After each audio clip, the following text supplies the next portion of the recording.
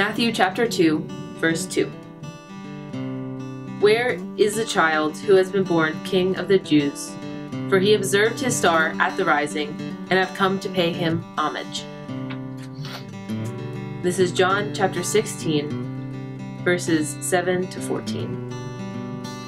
Nevertheless, I tell you the truth. It is to your advantage that I go away.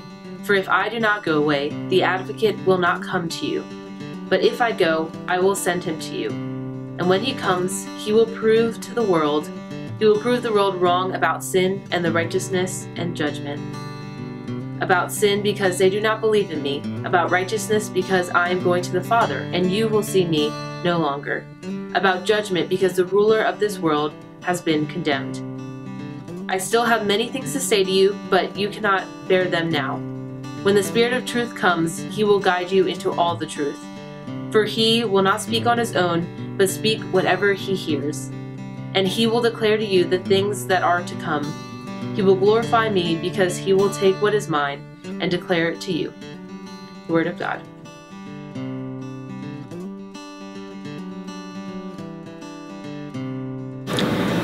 In this fragile and uncertain world, we look for a light, a ray of hope from afar. In the midst of evil, we long for goodness. We look for the good within ourselves, but so often we are overwhelmed by our weaknesses that hope fails. Our confidence rests in the God we worship.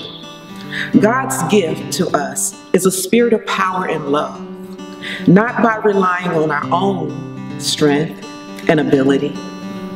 Are we drawn forward on the way to this perfect light, but rather by God's Holy Spirit?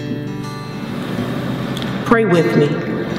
Lord God, illuminate our path by the light of Christ who moves before us and leads us. Enlighten us and dwell within us Guide us to discover a small manger in our hearts where a great light still sleeps.